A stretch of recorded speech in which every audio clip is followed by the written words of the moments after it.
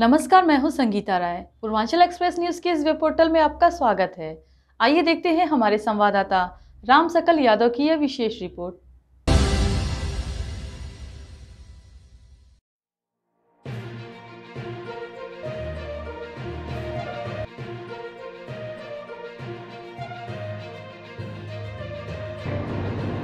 Azamgarh BSP supremo Mayawati के उत्तराधिकारी व बहुजन समाज पार्टी के समन्वयक आकाश आनंद आज आजमगढ़ के लालगंज सुरक्षित सीट पर पार्टी की प्रत्याशी डॉक्टर इंदु चौधरी के समर्थन में गए खड़गपुर में आयोजित जनसभा को संबोधित करने पहुँचे।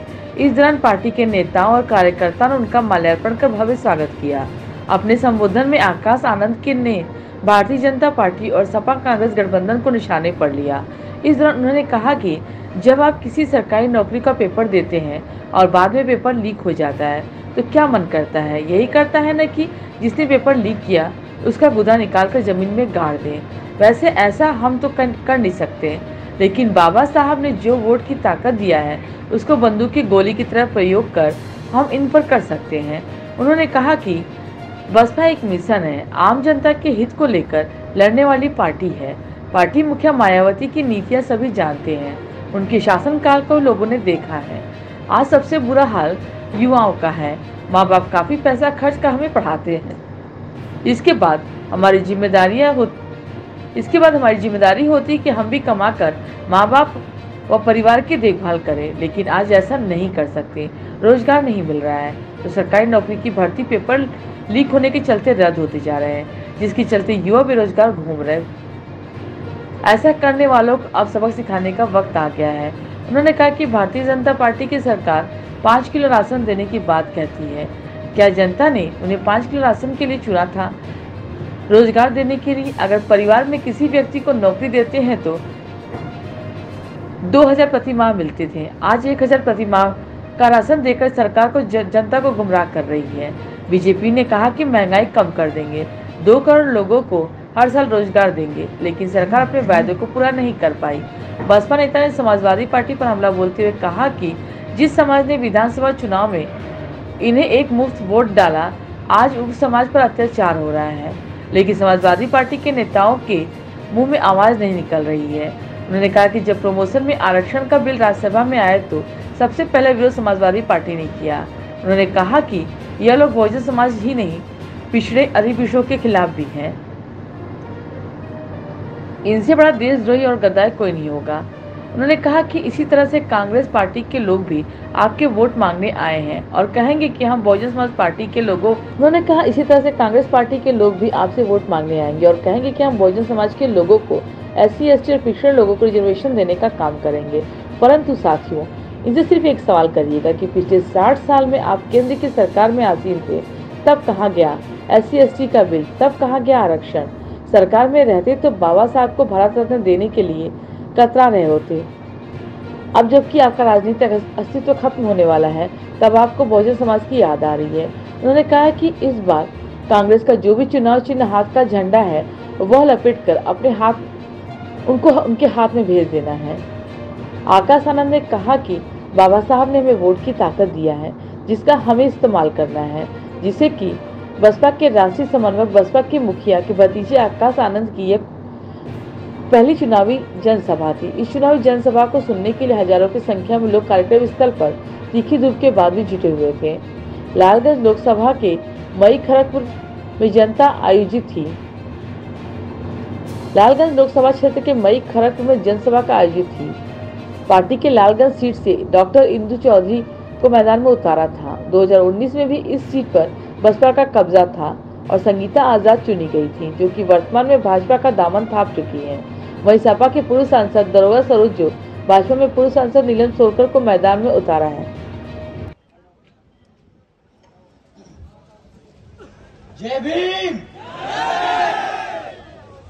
मैं समझ सकता हूँ बहुत गर्मी है और आप बहुत देर से खड़े हैं, बहुत देर से इंतज़ार कर रहे हैं, पर ये बाबा साहब का मूवमेंट बहुत साल पुराना है। तो दिल्ली तक आवाज़ पहुंचानी बहुत ज़रूरी है। तो साथियों, ऐसा जय भीम करेंगे कि पार्लियामेंट की दीवारें हिल जाएँ। तो एक बार और, जय भीम! साथियों, सबसे पहले मैं यहाँ मौजूद, इतनी बड़ी संख्या में हमारी माताएँ बहनें, अपना कीमती समय निकालकर आप हमें आज यहाँ सुनने आई हैं तो आप सभी को मैं तय दिल से धन्यवाद करना चाहता हूँ।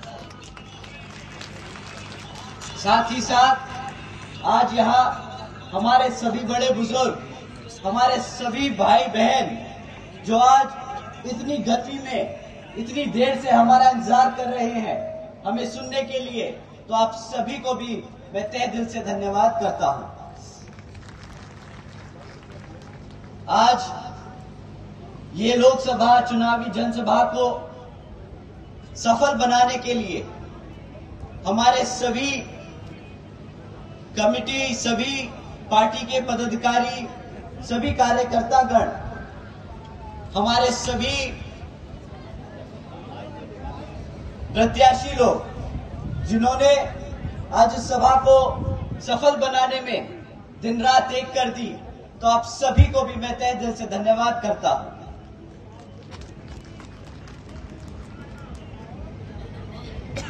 साथियों,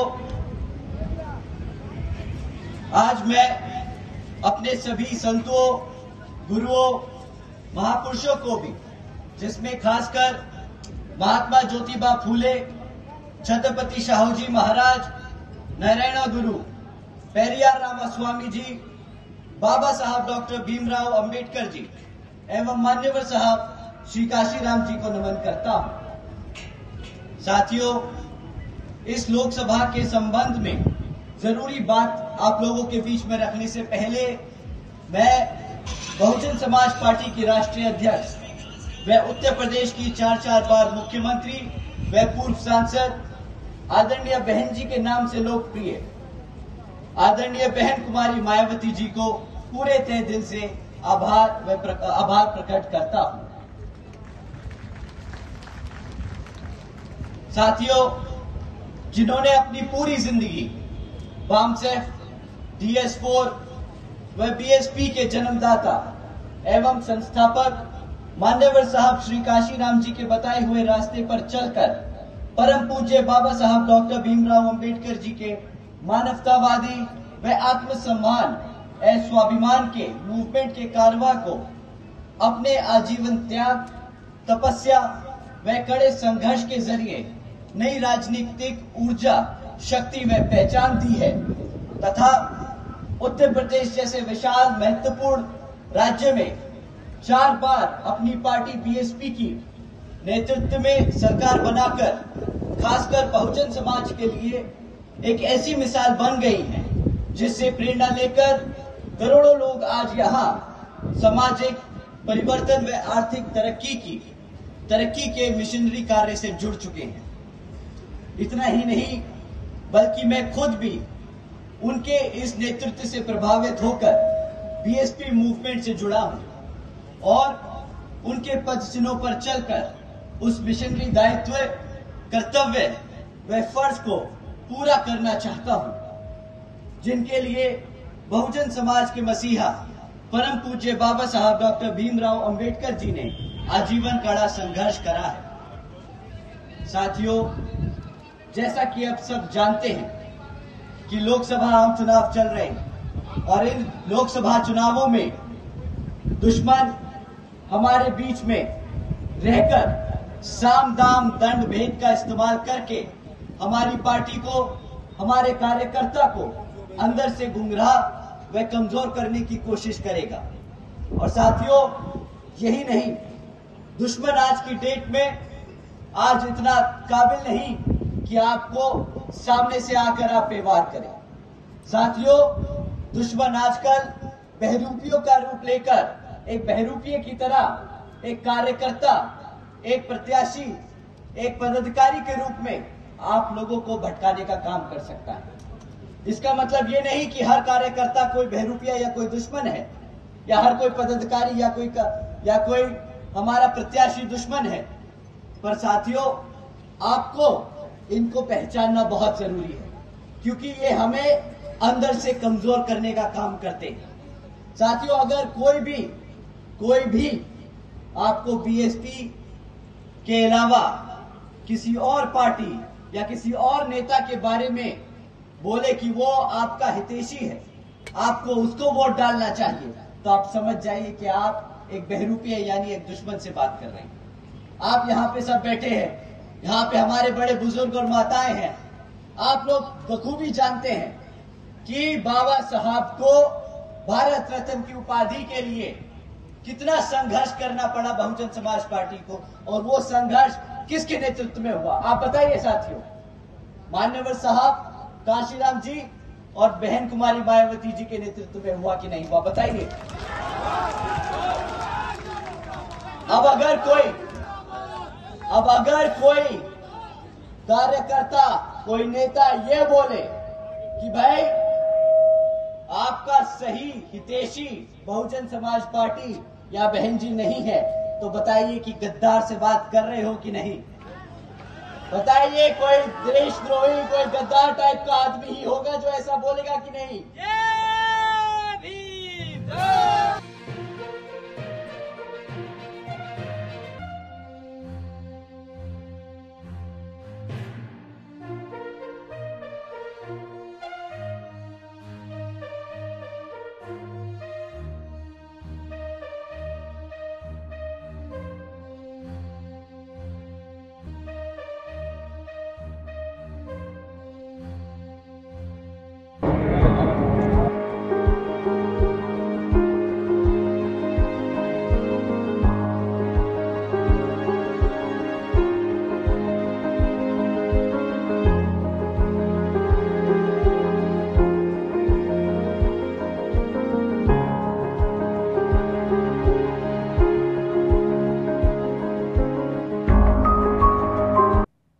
अगर आपको हमारी खबर पसंद आई हो तो हमारे चैनल को लाइक, सब्सक्राइब और शेयर ज़रूर करिए।